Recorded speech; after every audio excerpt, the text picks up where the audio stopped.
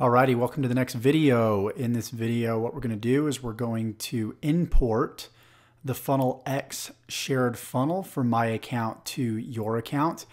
And then we're going to import our email follow-up series. Okay, so the first thing that you're going to want to do is you'll log in to your ClickFunnels account.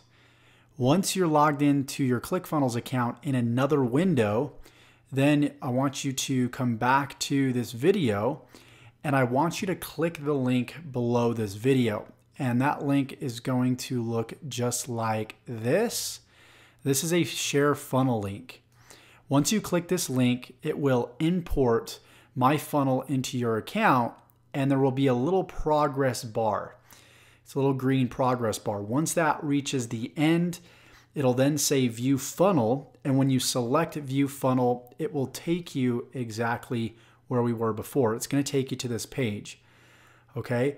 Once you have that funnel imported, what we want to do is number one, we want to recognize the links that are at the top of each video.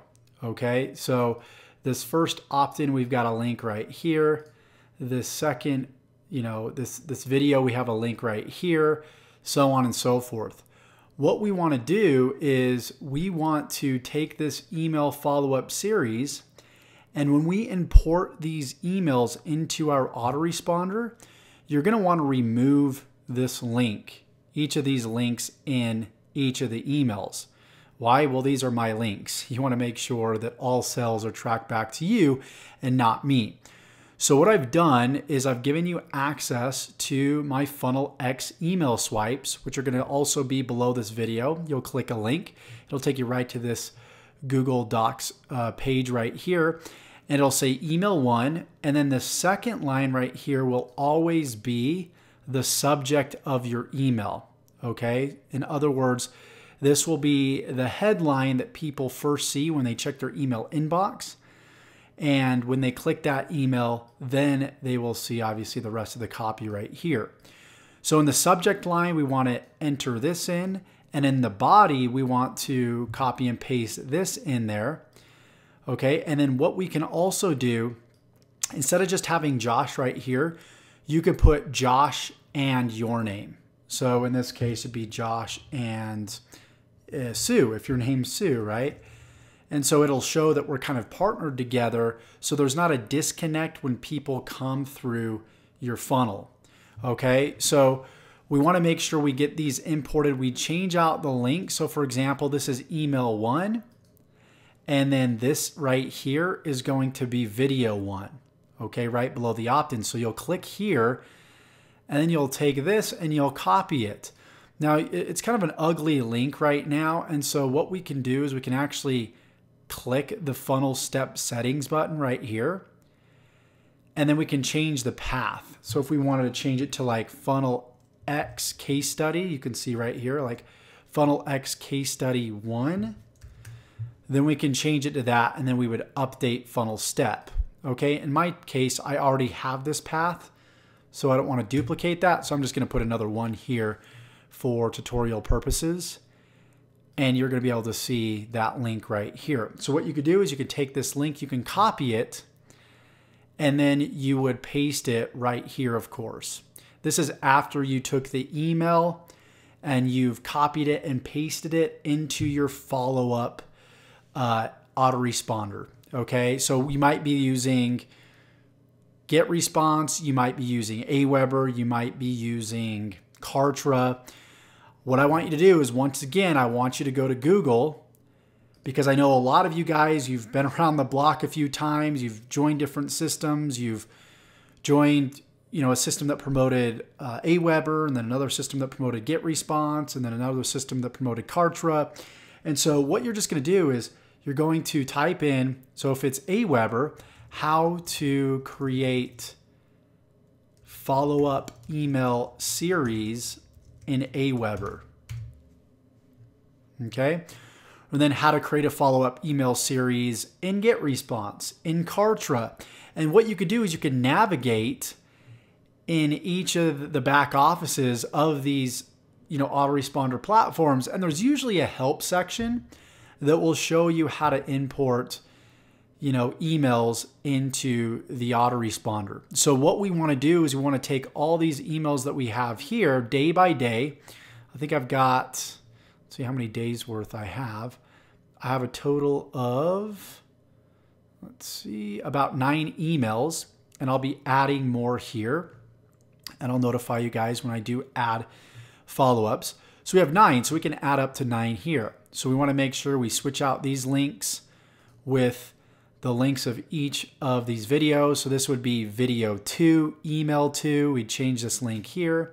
And then we got email three, video three, four, five, six, seven, eight, nine. Okay, and I think this might be an extra one that I've got here for an, for a email I have yet to import. Yeah, which is this video here. So I'll be putting that in a little bit later. So you want to complete to right here and just follow exactly what I outlined to you. And then to connect your autoresponder, after you've done that, now we need to connect the autoresponder so it communicates with the landing page right here. Now, there's a few ways to do this. One way is to simply do it through integrations, which we've pretty much already have done if in the last video, I believe it was the last video, you connected your autoresponder, your API, so it communicated with ClickFunnels. Once you do that, you just click on integrations up here. Once you edit the page, right? So we clicked edit page right here. We got to this page, and then we're gonna select the integration. And if we've integrated it um, through the API, you're gonna be able to see your autoresponder here. And so in this case, we're gonna select GetResponse and then we're going to go to action and we're going to select add to campaign. And then we're going to select a list. Okay. Now, assuming that you've created your first email autoresponder series, right? You went here, you type this in, how to create a follow-up email series in ConvertKit, Aweber, GetResponse, whatever you're using. Then what's going to happen is you're going to create a new list and then you're going to create a follow up series for that specific list. And what's going to happen once you do that, and we jump back over here, what we're going to do is we're going to select that list from the drop down menu. So in this case, I don't have a specific list in GetResponse, okay, because I canceled my GetResponse account. So what you're going to do is, since you've already integrated your autoresponder, I'm assuming that you have and you followed the last video, what you'll select is refresh list from API. And then when you select the dropdown, you should be able to see your list appear, right? So you have to have a list to create a follow-up series.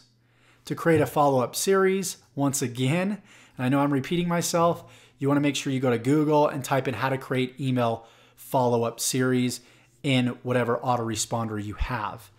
Once you do that, and you simply select your list from the drop down menu, you select save right here, you're good to go. It's now connected.